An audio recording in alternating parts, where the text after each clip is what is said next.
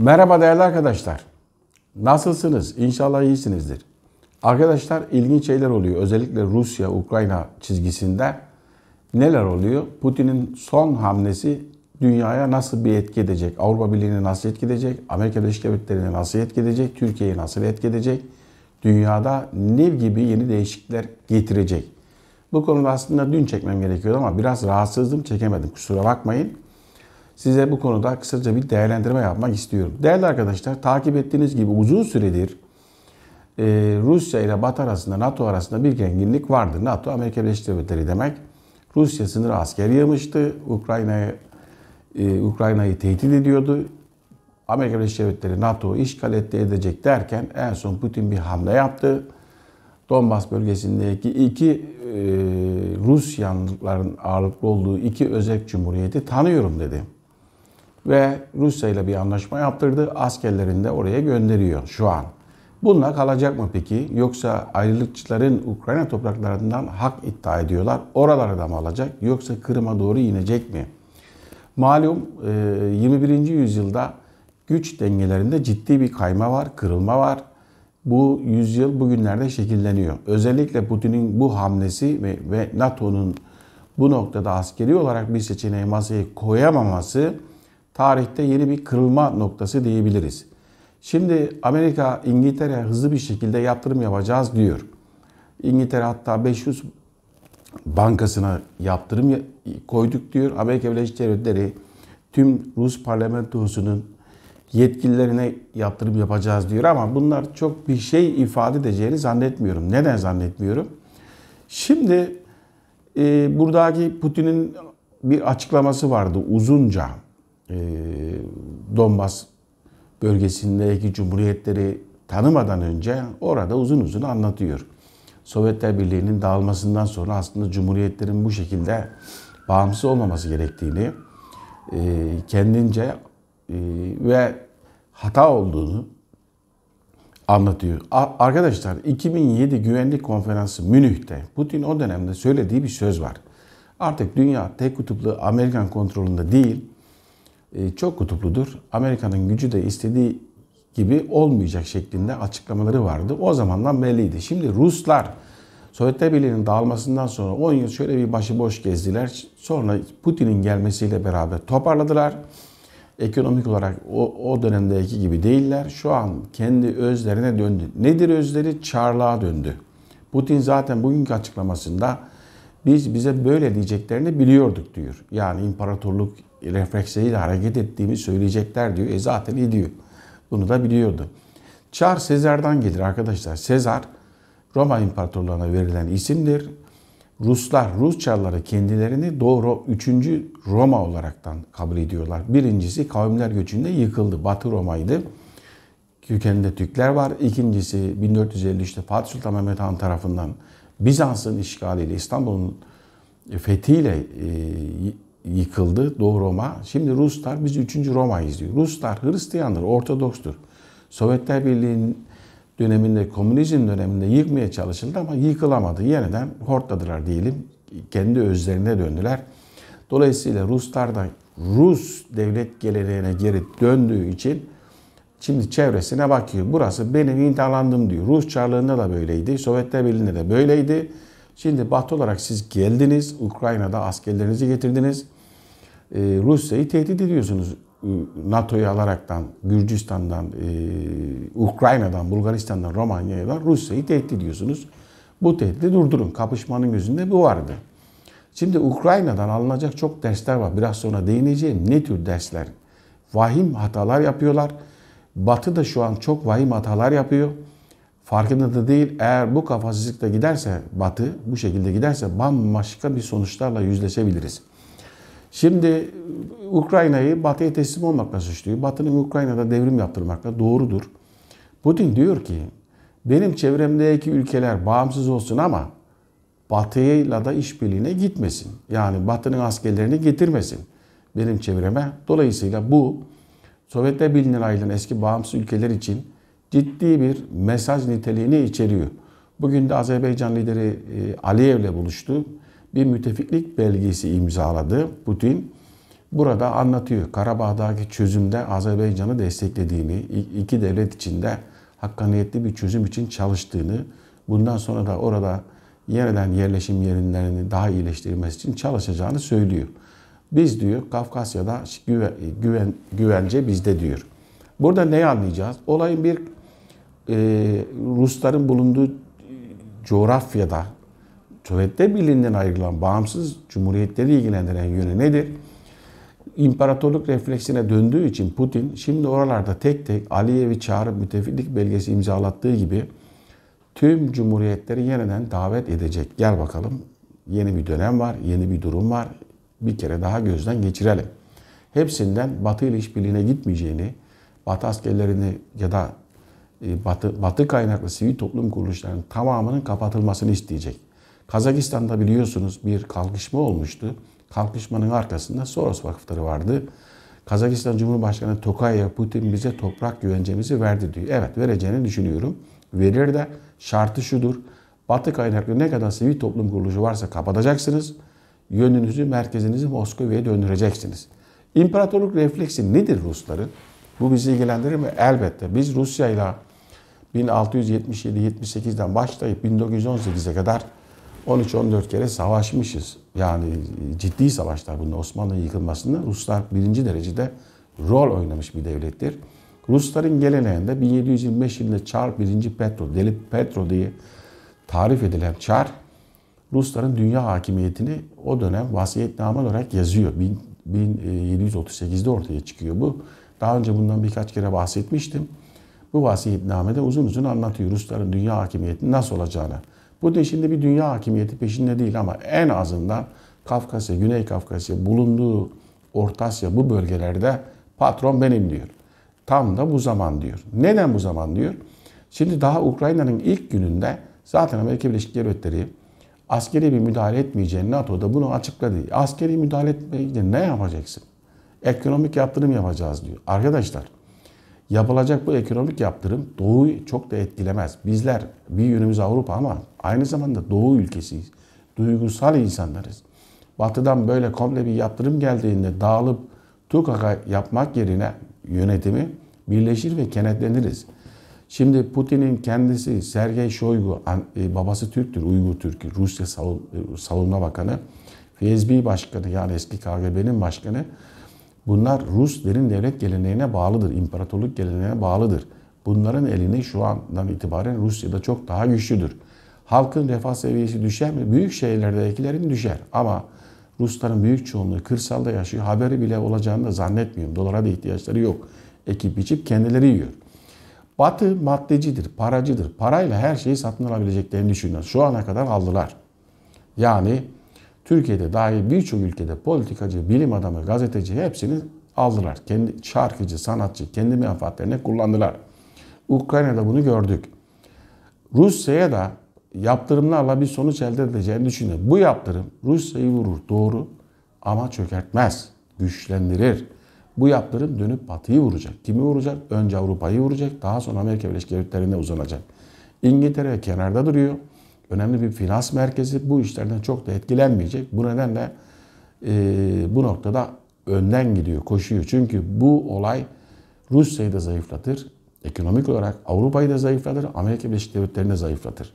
Şimdi dolayısıyla Orta Asya'da, Kafkasya'da yeni bir durum söz konusu. Putin tüm cumhuriyetleri çağırıp masaya oturacak. Gel bakalım elimi öp diyecek. Ayrıca Putin Türkiye'yi ilgilendiren yanı Türk Cumhuriyetlerinde Türk Devletler Birliği Teşkilatı'nı ilk günde söylediğim gibi evet kurun ama ben de içinde olacağım. En büyük turan benim. Benim dışında burada bir teşkilat kuramazsınız. Bununla gelecek Türkiye'ye de. Yani burada Orta Asya'da eğer Kafkasya'da içinde olan bir şey olacaksa bu Rusyasız olmaz. Batı ile bunu kuramazsınız. Böyle bir yaklaşımla Türkiye'ye döneceğini düşünüyorum daha sonra. Şimdi gelelim Avrupa'ya. Almanya hızlı bir şekilde biz Kuzey Akım 2 anlaşmasını iptal ettik dedi. Yani Baltık Denizi'nden Rusya'dan Almanya'ya enerji doğalgaz taşıyacak boru hattını. Şimdi durdurduk dedi daha doğrusu. Lisanslama sürecini durdurduk. Arkadaşlar paşa paşa geri açacaklar. Niye açacaklar? Daha ilk gün bugünden Avrupa'da doğalgaz fiyatları %20 bir fırladı. Putin'in eski başbakanı bir dönemde Cumhurbaşkanı olmuştu Putin'in yerine Medvedev 2000 euroluk doğalgazla Avrupa tanışacak demişti. Avrupa'nın doğalgaz ihtiyacının %90'ı dışarıya bağımlı. Norveç, Cezayir, Amerika Birleşik Devletleri, Rusya, ağırlık Rusya. Özellikle Almanya'nın zaten %55 doğalgaz ihtiyacı var. %40 da petrolü Rusya'dan karşılıyor bu ihtiyaçları. Dolayısıyla şu an Amerika'nın NATO'nun etkisiyle evet biz bunu durdurduk diyor da bunu geri açacaklar. Ne demiştim?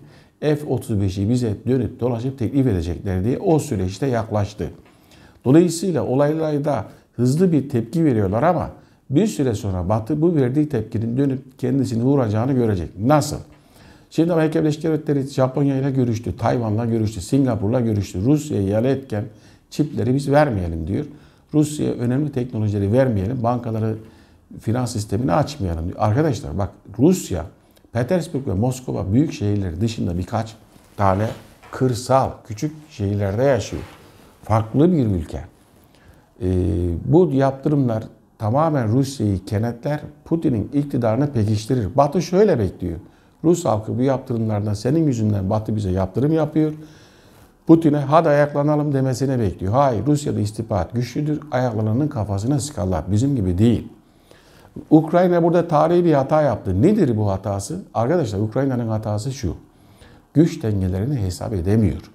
Yani orada nükleer bir güç var. Rusya ve Rus NATO'yu getirerek Rusya'nın dibine kaşıyor. Rusya'da bir hamle yaptı. Kırım aldı. Sonra Sivastopol'u e, sonra şimdi geldi Donbass'ı. Gürcistan'dan da ders almadı aslında baksa. Yani kaplandan aynı kafasındayseniz biraz uslu durmanız gerekiyor. Yoksa pençesini yersiniz. Ukrayna'daki renkli devrimler ve biraz da şımartıldı Zelenski ve Batı, Batı'ya çok güvendi. Şu an şaşkın vaziyette bekliyor. Yani yaptırımların Rusya'ya dize getireceğini. Ayrıca bu süreç burada bitmeyecek.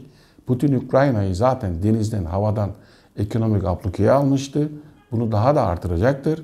Rus Batı'nın yaptırımlar sonucu Rusya'da beklediği iç kargaşa Ukrayna'da çıkacağını düşünüyorum. Bu olayın Türkiye'de çözüleceğini baştan beri söylüyorum. Yine aynı şekildeyim. Putin istediğini aldıktan sonra çözümü Türkiye'de yapacaklarını düşünüyorum. Putin bugün diyor ki Ukrayna NATO'dan geri adım atsın, girmeyeceğini beyan etsin. Bizim de görüşümüz bu yöndeydi baştan beri. Muhtemelen de öyle olacak. Fakat Ukrayna'da bir daha seçim olsa Zelenski'nin kaybı, kazanma şansı yok. Şimdi halkı kaza getiriyordu Rusya ile savaşırız ederiz filan diye aldığımız bilgilere göre Kiev boşalıyor.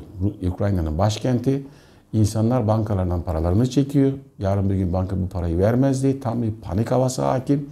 Bir ekonominin çöküşü böyle başlar zaten. Ukrayna batıya güvenmenin bedelini ağır bir fatura olarak ülkeyi parçalatarak ödüyor. Şimdi bizim ülkemizde de batıya güvenerekten Cartçut, Hendek Savaşları başlatan Avrupa'nın genç liderler eğitiminden yetişmiş Selahattin Demirtaş nerede? Hapiste. Bu ülkede batıdan aldığı finansla Türkiye'de Gezi Parkı olaylarını kışkırtıp arka planda Türkiye'de bir kendince renkli bir devrim geliştirenler nerede? Hapiste. Ee, Türkiye Cumhuriyet Devleti nasıl ki bu olayları çözmüşse Putin çok daha önceden çözdü. Bu nedenle Batı tüm sivil toplum kuruluşları özellikle Soros kuruluşları bundan sonra başta Kazakistan'da, Kazakistan'da 20 bin civarında Batı kaynaklı sivil toplum örgütü vardı. Tamamı kapatılır. E, diğer cumhuriyetlerde de aynen olacak. Şimdi gelelim Amerika Birleşik Devletleri'ne. Amerika Birleşik Devletleri tarihi bir hata yaptı. Amerika'nın çok yanlış yönetildiğini net bir şekilde görüyoruz. Şimdi Rusya 190 bin askeri yığdı, saldırdı, saldıracak diyor. Peki sen ne yapacaksın? Ukrayna sana güvendi kardeşim. Gazı sen verdin Ukrayna'ya. Ne yapacaksın? Gözünün içine baka baka adam Rus Ukrayna'yı parçaladı. Yani şu an toprağını aldı resmen. Yarın bir gün onu Rusya'ya katacak. Ne yapacaksın? Tanımıyorsun, tanıma. Efendim yaptırım yaptır. Türkiye'de de yaptırıyorsun, İran'a da yaptırıyorsun. Hiç mi ders almaz insan? Yani her tarafa yap, yaptırım koyuyorsun. Bunlar dönüp Amerika Birleşik Devletleri'ni vuracak. Şimdi Joe Biden Afganistan'dan resmen kaçtık, gördük. Demek ki Batı'nın bir ulus inşa etme süreci durup dururken iş dinamiklerine bir ülkenin müdahale ederekten darbelerle iktidar devirmesi, e, iktidar değiştirmesi o ülkenin hayrına bir şey oluşturmuyor. O ülke iç kaosa sürükleniyor, daha da geriye gidiyor. Bulunduğu mevcut bu mit ya da pirince giderken evdeki bulgurdan olmak olmaya denir. İşte Afganistan'da geldiler. Taliban hükümetini değiştirdiler. Geri Taliban'a hükümeti bırakıp gittiler. 20 yıl boyunca binlerce Afgan öldü, sürüldü, kadınlar tecavüze uğradı. Ee, burada Amerika, Batı tarihi bir yenilgi aldı bu işten. Bunun faturası Joe Biden'a kesilecektir. Amerika Birleşik Devletleri'nde bir daha seçimi kazanma şansını görmüyorum. Özellikle demokratların bu tavrı Amerika Birleşik Devletleri'nde. Şimdi e, Amerika'nın tavrı Avrupa'yı Çin'e karşı yanına almaktı. Burada da bir istediğini alamayacağını görüyorum. Çünkü Avrupa bir taraftan enerji kriziyle boğuşurken diğer taraftan Rusya ile düşmanlığın kendilerine maliyetli olacağını yavaş yavaş anlayacaklar. Avrupa'nın çevresinde olan eski Rusya'dan ayrılan cumhuriyetler Avrupa'ya daha da yanaşacak görünüyor ama tam tersi bir etki de verebilir bu. Yani e, çekinebilir de. Peki şimdi Avrupa'nın ordusu var mı? Yok. Avrupa'nın enerjisi var mı? Yok. Avrupa'nın ağırlıklı yatırımı nerede? Çin'de. Çin'den ticaret yapıyor ve geçmişte iki savaş, bir iki dünya savaşı yaşamış Avrupa, Rusya ile bir üçüncü dünya savaşı yaşayacağını istemiyorum. Bu nedenle oturup şu anki sert çıkışlara bakmayın. Yarın bir gün Avrupa'da halk da sorgulayacak bunu. Dolayısıyla Putin e, Putin'i sıkıştırarak Rusya'yı e, Ukrayna üzerine sürerekten Rusya'yı uğraştırayım derken Avrupa'yı da böyle markaj alırım derken Amerika Birleşik Devletleri bu noktada istediğini bulamayabilir. NATO, heybetli bir NATO bölgede istediğini yaptırıyordu. Şu an çaresiz ve aciz kaldı. Bu NATO'da da sorgulamaya açar. Şimdi Amerika'nın gücü kime yattı? Geliyor burada PKK'yı kışkırttı. Bizim bölgemizde gidiyor. Afganistan'da yerli Afganları kovalıyor. Vietnam'dan zaten kaçmıştı. Baktığınızda kazandığı bir savaşta görünmüyor ortada. İki Dünya Savaşı'na da sonradan girdi. Aslında hiçbir devletle savaşmış bir Amerika yok. Bu nedenle Rusya ile zaten biliyor savaşamayacağını. Niye savaşamayacak? Yenemez mi Rusya'yı? Tek başına savaşamaz. NATO'yu arkasına alması lazım. E NATO'dan da Rusya ile Ukrayna için savaşacak Avrupa'da bir devlet yok. Buna Türkiye'de dahil. Peki işin özü şu arkadaşlar. Bir nükleer bir güce Amerika savaş açamaz. Açmaz. E, e, öyle bir şansı yok. Çünkü Amerikalılar kendi şeylerine düşkündür. Kendi topraklarına ulaşabilecek bir tehdide asla yanaşmazlar. Putin'in nükleer tehdidi zaten geçen cumartesi günü Putin ne yaptı? Bir de nükleer tatbikat yaptı. Hadi buyurun dedi. Ben varım. Buyurun siz de varsanız. Putin savaşmaya hazır olduğunu gösterdi ama Batı'da öyle bir eğilim yok. Peki bu sonuç neyi, şey, neyi etkiler? Bu sonuç arkadaşlar Çin'in Tayvan'ı işgalini tetikler. Çin bu süreci izledi, kendince baktı. Batı'nın yaptırım yaptırım. Çin zaten Batı'nın yaptırım listesinde olduğu için içe döndü. İhracat dayalı büyümeden çok içe döndü. Bu nedenle yaptırımları filan peşinen biliyor. Hızlı bir şekilde çip üretim noktasına milyarlarca dolar aktarıyor. En büyük buradan vuracak. Şu an Rusya'yı vurmaya çalıştığı gibi. Teknoloji artık batıda değil. Çin'de de teknoloji var. Başka ülkelerde de var. Dolayısıyla gıda zaten Rusya'da istemediğin kadar var. Rusya'nın gıda problemi yok. Narenci ihtiyacını Türkiye'den karşı. Rusya'nın enerji problemi yok. Rusya'nın maden problemi yok. Rusya'nın batı gibi sosyal devlet diye bir şeyi de yok zaten. Yıllardır komünizm altında millet aç, susuz, perişan yaşamaya alışmış bir millet var. Batı Batı toplumları gibi zannediyor Rusya'yı. Biz, bizi de öyle zannediyorlar. Yaptırım yaptıkça bunlar kafayı yer, bize teslim olur diye düşünüyor. Bilakis daha da uzaklaşıyor. Dolayısıyla Amerika Birleşik Devletleri şu an bir e, kendi müttefikleri için aynı zamanda Asya'daki şimdi Asya'ya yönelecek ya Çin'e karşı Amerika'nın Çin'le mücadelesinde Asya'daki ülkeler de bu noktada biraz daha temkinli olacaktır. Çünkü Ukrayna'yı göz göre göre ateşe atan bir Amerika'yı gördüler. Çin'e karşı kendilerinin de yem edilmesini istemeyecekler. Ateşe atıyorsa madem gidip onu tutması gerekiyordu ama tutamadılar. Daha doğrusu tutmadılar. Dönelim şimdi dünya nasıl şekillenir? Arkadaşlar Rusya'nın tavrı kararlı ve net. Çevremizde büyük güçlü bir Rusya olması bizi etkiler mi? Etkiler. Çünkü Rusların büyük bir imparatorluk hayalleri var eğer imkanları bulursa geçmişte bizimle savaştık, Osmanlı ile savaştıkları gibi Türkiye'den de hak iddia edeceklerinden hiç şüphem yok. Yani gelecekte, şimdi değil. Bu nedenle Türkiye'nin bu süreci iyi izlemesi gerekiyor. Ee, şimdi Türkiye'yi ötekileştirdi Batı. Yaptırım yapıyorlar, F-35 vermiyorlar, eleştiriyorlar. İşte insan hakları falan falan diyor.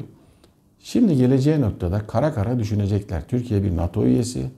Biz Rusya ile savaşamıyoruz. Türkiye'yi bir gaza getirsek de bir kapı salar. Bu moda geçecekler. Bu nedenle Türkiye'ye farklı tekliflerle gelecek. Şimdi Sayın Cumhurbaşkanı yarın NATO Liderler Zirvesi'nde çevrim içi bir toplantıya katılacak. Bu nedenle Afrika gezisini yarıda bıraktı. Dolayısıyla burada konuşacakları şey Türkiye'ye hadi bakalım koçum Kırım Savaşı'nda olduğu gibi Ruslarda artık ön cephede sen Rusya'ya karşı sen varsın. Biz sana istediğin F-35 dahil her türlü silah verelim diyecekler ama Türkiye'nin buna karnı tok. Türkiye Batı için Rusya ile savaşacak konumda değil. Zaten savaşmaz. Kendi Türkiye'nin kendi bir stratejisi var. Rusya ile de belli ölçüde ilişkileri var. Batı ile de belli ilişkili, ilişkileri var belli ölçüde. Şimdi Amerika'nın yanıldığı şey şu. Körfez'de küçük küçük devletler var. Afrika'da hakeza. Bunlara uzaktan bir talimat verdiğinde geçmişte Türkiye'ye de öyle yer yerinden oynardı. Zank diye yapardı. Kalkıp da Rusya'ya talimat vermeye kalkamaz. Öyle bir şey de yok. Bunu algılayamıyorlar. Gücü tartamayan bir Amerika'yı görüyorum tuhaf bir şekilde. Çin'deki gücü de tartamıyorlar. Rusya'daki gücü de tartamıyorlar. E, dünyayı bölüşmek de istemiyorlar. Şimdi Batı'nın son 300 yıllık dünya hakimiyetine baktığımızda 200 yıllık diyelim hadi sömürge üzerine kurulu. Öz sömürgeler yavaş yavaş bitiyor. Bizdeki sosyal devlet, Batı'daki sosyal devlet olmadığında, kredi kartı olmadığında millet aç. Kaldığında asıl o zaman karışacak. Baştan beri size uzun süredir analizlerimde önümüzdeki süreçte Batı'nın kendi içinde karışacağı bir sürece doğru gidiyoruz. Dolayısıyla bu karışma önce Amerika'nın kendi içinde başlayacağını düşünüyorum. Amerika'daki bu derin kutuplaşma, kendi içindeki kutuplaşma ayrıca dış politikada dünyada istediğini yaptıramaması Amerika'da derin bir tartışma zincirini getirecek. Avrupa'da herkese aynı olacak. Transatlantik ittifakı çatlar bu süreçte. Avrupa'da yeniden bir Avrupa ordusu gündeme Fransızlar muhtemelen getirecektir. Çünkü Fransızlar Türkiye'den rol çalmaya çalıştı. Baktı ki Putin Türkiye'ye gelecek. Hızlıca Macron atladı Rusya'ya gitti, görüştü. Alman lider gitti ama madara oldular, geri döndüler. İstediklerini alamadılar. Putin gücün farkında. Gücü nasıl kullanılacağını biliyor. Fakat Batı biraz oyun oynuyor. Gücün çok da farkında değil. Kaplana böyle nanik nanik yapıyorlar. Pençeye attığında kaplan yüzünü gözünü kanatacak. Bunu göremiyorlar. Kaplana nanik nanik yapıp pençeyi Ukrayna'ya attırdılar. Dolayısıyla güç sarhoşluğu güç sarhoşluğu yaşayan Batı yaptıracağı bu ekonomik yaptırımlarla kendi ekonomik düzenlerini temelinden sarsacaklarını düşünüyorum. Yani Orta Asya, e, Kafkasya kendine yeter bu noktada. Yani o bölge enerji, maden zengini bölge, doğalgaz, petrol. Dolayısıyla hem Çin'in hem Avrupa Birliği'nin o bölgeye ihtiyacı var. Orta Doğu'ya da ihtiyacı var. Hem Çin'in, bundan sonra Avrupa Birliği'nin. Bu süreç Türkiye'yi nasıl etkiler? Türkiye burada çok dikkatli olması gerekiyor. Rusya ciddi ve kararlı. Ee, Rusların şakası yok. Zaten savaşlar da böyle çıkar. Dolayısıyla Türkiye, Ukrayna'da bu Putin'in Donbas'ı tanıması o bölgede iki cumhuriyetini Türkiye'yi tanımadığını söyledi. Türkiye Kırım'ı da tanımadı. Zelenski de Cumhurbaşkanı'nı arıyor, teşekkür ediyor, bizim yanımızda oldunuz diyor. Fakat Rusya'nın bunun için hiçbir anlamı yok. Tanısa ne tanımasa ne. Rusya kimsenin orayı tanımasını beklemiyor. Esad tanıdı, Ermenistan tanıdı. Yarın bir gün Orta Asya Cumhuriyetlerinin tamamını tanıyacak. Kafkasya'dakiler. Dolayısıyla Rusya Türkiye'den bunu beklemiyor. Rusya akıllı bir devlet. Türkiye'den beklediği şey belli. Yani bu coğrafyada çünkü Orta Asya Türk demek. Rusya'nın içi de ağırlıklı Türk demek. Beraber işbirliği yapalım diyor Rusya. Batı'ya karşı yapalım diyor. Ee, Batı da şimdi Türkiye'ye beraber işbirliği yapalım, Rusya'ya karşı yapalım. Bütün coğrafyamıza bakarsak Amerika Birleşik Devletleri burada yok. Avrupa Birliği hemen yanı başımızda. Ama Rusya ile iç içe geçmişiz. Bu nedenle Türkiye stratejiyi doğru kuracağından hiç şüphem yok benim. Dış politikada bizim kurmuş olduğumuz bir denge politikası var. Tüm dünyanın gözü Ukrayna'dayken Cumhurbaşkanı Afrika'ya gitti gözden ırak bir şekilde bizim hesaplarımız var. Afrika'da da öyle görüyorum ben. Dolayısıyla Batı şimdi Çin'le, Rusya'yla zaman kaybedip zaman kaybederken mecburen uğraşacaklar. Orta Doğu'da ve Afrika'da yeni gelişmeler olabilir. Orta Doğu'yu zaten görüyoruz. Birleşik Arap Emirlikleri geldi. Suudi Arabistan gelecek.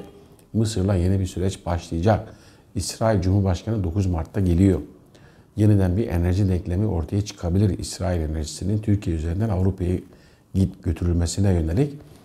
Bu süreçte yani e, şimdi Rusya'dan e, Batı Rusya ile uğraşırken şimdi dönecek Çin Amerika Birleşik Devletleri. Mesela Joe Biden'ın görüşmelerine baktığımızda Asyalılarla görüşüyor, Rusya'yı izole edelim diyor. Niye izole etsin? Asya'da Rusya'yı izole edecek ülke Japonya'dır. Singapur izole etsene, Tayvan etsene, Japonya'dır. Japonya niye ediyor? Tarihi husumetleri var. 1905 Rus-Japon savaşında e, Jacob Fish var Batılılar. 200 milyon dolar veriyorlar Japonlara. Rusya zayıflasın ve yenilsin diye. Çünkü Rusya'da devrim yapmaya göz koymuşlardı. Çar zayıflarsa eğer Rusya'da Lenin'i, Troçki onların adamıydı gönderip devrim yaptıracaktı. Sonuçta öyle de oldu. Dolayısıyla Japonlar ve Ruslar tarihi savaşları var. Bu nedenle çok güçlü bir Rusya'yı Japonya'yı istemez. Çok güçlü bir Çin'i de istemez. Ve Çin'den dolayı zaten geçmişte Çin'e yönelik Mançurya işgalleri, Çin'e yönelik zulümleri var Japonların. Endişeliler Çin'e yönelik. Bu nedenle e, Rusya'yı yaptırma Asya'dan Japonya dışında Singapur'u çok ciddi saymıyorum. Tayvan'ı da saymıyorum. Ciddi yatırım yapabilecek bir ülkede görmüyorum zaten. E, elinde enerjiyi ve petrolü tutan bir ülkeye yaptırım bir şey ifade etmez arkadaşlar. Buna herkesin ihtiyacı var. Düşünün ki siz bir fırıncısınız. Mahallesi size küsmüş. Ne yapacak? Dönüp dolaşıp gelecek paşa paşa ekmeği sizden alacak değil mi? Şimdi Almanya diyor ki ben bu fırına e, e, ekmek yaptırımı yapayım. Ne aç mı kalacaksın? Ne yapacaksın? Mecburen dönüp dolaşıp geleceksin. Güç dengelerini iyi tanımak gerekiyor. Şu an Rusya silaha sarıldı. Rusya'nın silaha sarılması bu yüzyılı yeniden tanımlıyor güç dengesinde. Ve Rusya şunu gayet iyi biliyor ki bu yüzyılda Rusya diye bir ülke Batı istemiyor. Tüm kendi analizlerinde baktığımda Rusya'nın dağılacağını varsayıyor. Cumhuriyetlerin ayrılacağını. E, Rusya bu analizleri görmüyor mu? Sovyetler Birliği nasıl dağıldıysa Rusya da dağılacak diyorlar. Batılıların özellikle batıda ulus devlet üstü Çin'e yatırım yapanlar Çin'in önünü açmak için Rusya'yı dağıtmak istiyorlar. E Putin de bunu gördü. Hadi buyurun gelin dağıtın dedi. Dolayısıyla uzun süre gidecek yeni bir denge söz konusu. Bölgede çok daha güçlü bir Rusya söz konusu. Silaha sarıldığı halde silaha sarılamayan Batı bununla beraber yaptırımların anasını Rusya'ya yapıyoruz diyor ya. Tersinden yaptırımların babasını da diğer ülkeler Amerika ve Avrupa'ya yapacaktır. Afrika'da istediğini sömürüyü elde edemeyen, Orta Doğu'da istediğini elde edemeyen, Orta Asya'ya zaten hiç yerleşemeyen Batı, yani Amerika Birleşik Devletleri, Çin'le de araya mesafe koyduğunda, bunlar kendi, ve bu yaptırımların dozunu da artırdığında, kendi ülkelerinde ekonomik kriz, krizlerle yüzleşme yüzleşme durumları olma ihtimali yüksek. Zaten bir enerji krizi var. Şimdi daha da oldu. Ham madde emtia fiyatları var bu market bağımlı yaşayan öncelikle batıyı vurur. Modern toplum dediğimiz toplumun merkezi Avrupa ve Amerika Birleşik Devletleri. Markette yemek yoksa aç insanlar. Rusya'da markette yemek yoksa bakkalda var, manavda var, köylüde var, her yerde var. Bu nedenle bu yaptırım süreci dünyadaki ekonomik mevcut düzeni sarsar. Amerikan merkezi finans sisteminin yıkılmasına vesile olacağını düşünüyorum. Hemen değil. Bir süre sonra. Çünkü Amerika baskı yapacak. Benden misin, değil misin? Hadi bakalım dünyadaki e, önce NATO ülkelerine, daha sonra diğer müttefiklerine Amerika Birleşik Devletleri Aralık'ta bir demokrasi ülkeleri platformunu toplamıştı. 109 ülkeyi toplamıştı. Şimdi onlara dönecek. Madem biz demokrasi koalisyonuyuz, hadi Rusya'ya yaptırım yapayım bakayım diyecek. Bir kişiyi bulamaz bu noktada. Avrupa'da bile şu an istediği gibi sonucu elde edemeyecek. Bu nedenle bu süreç Avrupa'da tartışmalara, hangi tartışmalara? Bir, Yaptırım gücü sorgulanacak. Hangi yaptırım? Askeri yaptırım zaten yapamıyor. Avrupa'nın prestiji sorgulanacak Amerika'nın. İki, ekonomik yaptırımlar dönüp batıyı vuracak. Son noktada, ilk etapta değil, kendi kendine sorgulayacak. Üç, Amerika nükleer savaş çıkartır mı? Soru bu, bu noktada. Ulan hepinize al bir Çin'e, al bir Rusya'ya der mi? Arkadaşlar Batı'nın tarihine baktığımızda sıkça anlatıyoruz. Fransızlar Amerika Birleşik Devletleri'nde yerlilere battaniye veriyorlar çiçek virüsüyle. İspanyollar Güney Amerika'da büyük katliamlar yapmış. Dünyada atom bombasıyla katliamı yapan Amerika Birleşik Devletleri'dir. Köşeye sıkışan her şeyi yapar. Dolayısıyla Batı'yı yöneten ulus devlet aklının dışında küresel mekanizmanın aklı var. Küresel mekanizma nükleer bir savaş istemez ama Batı'da Trump gibi yeniden böyle bir Amerikan ulusalcıları iktidara gelirse dünya bir nükleer savaş e, tehdidiyle karşı karşıya da kalabilir. Çünkü bunların geçmişine baktığımızda bundan çekinmiyorlar Japonya'da gördük. Dünya daha belirsiz bir döneme girdi. Hayat şartlarının daha da zorlaşacağı, enerjinin artması tüm maliyetleri etkileyeceği için böyle bir beşik gibi sallanan bir noktaya doğru gidiyor. Bu Rusya olayı Ors askerini hemen çekmeyecek. Daha da bekliyor. Ablukayla, baskıyla, ekonomik baskıyla Ukrayna'nın kendi içinde karışmasını sağlamaya çalışacağını görüyorum.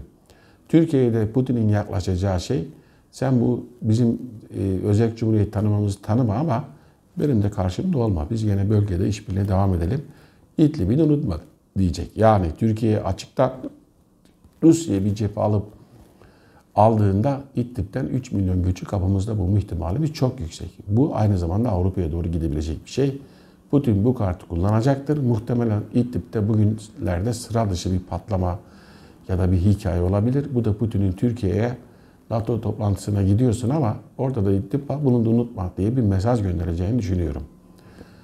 Tüm bu karmaşada Türkiye bu işin içinden çıkabilir mi? Bizim paramız yok şu an devlet olaraktan. İçeride halkımızın, milletimizin durumu belli zaten.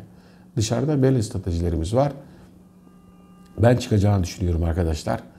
Ee, bizim milletimiz Kurtuluş Savaşı'nda da daha önceki dönemlerde de hep zor durumlarda bir çıkış yolu bulmuştur. Dış politikada izledi, dış politikada zaten rayında giden ya da en azından akıllı stratejiler uyguluyoruz. Bu dönemde Türkiye Rusya'yı çok doğru algılamalı. Ee, Rus Rusya'yı Batı'nın gazıyla asla ötekileştirip hafife almaması gerekiyor. Şimdi Avrupalılar diyor ki bu Almanya Hava Kuvvetleri Komutanı istifa ettirilmişti biliyorsun. Ya Putin bir presiz istiyor. Biz onu ona verebiliriz. Saygı istiyor diyordu. Şu an Putin silah zoruyla saygıyı kazanmış oldu. Artık Avrupa Putin'e saygı duyuyor. Sopa yedikten sonra. Evet değerli arkadaşlar kısaca e, bugün bu kadar. Görüşmek üzere diyorum. Hoşçakalın.